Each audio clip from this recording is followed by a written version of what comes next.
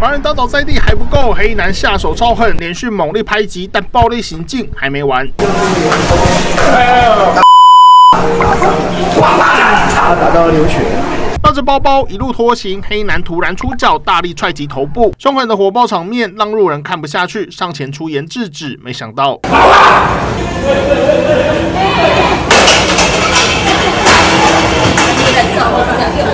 抓铁椅狂追，一路大声叫嚣，民众惊吓闪避。台北车站地下街竟发生随机攻击事件，对路过的人大吼大叫。当时我路过的时候也被吼过，应该随机抓人。回来之后看到他追另外一个人，然后把人家打到流血受伤。警方火速到场逮人，而动手的五十二岁陈姓范闲变成怀疑路过的黄姓男子偷走他的东西，上前理论起口角，随后大打出手，挥拳暴揍，甚至出脚猛踹头脸，把人打到左耳红肿，嘴角挫伤流血，惊悚过程全被拍了下来。现场逮捕该名男子，讯后依刑法强制恐吓伤害罪嫌移送法办。当事的陈姓范闲也被网友认出，七月时他在台中候车月台抽烟，遭站务员劝阻，竟脱衣咆哮，做事打人。恶劣的暴行一再上演，让人纳闷，到底有没有强制作为，能让他不再危害无辜民众？是以殴打伤害的行为，如果不断的发生，警方是可以依照刑事诉讼法预防性羁押的规定，来透过检察官向法院来申请羁押。不管是难以控制情绪，还是刻意惹是生非，宛如不定时炸弹的范闲，终究得面对惨痛代价。这杨桥是关于台北报道。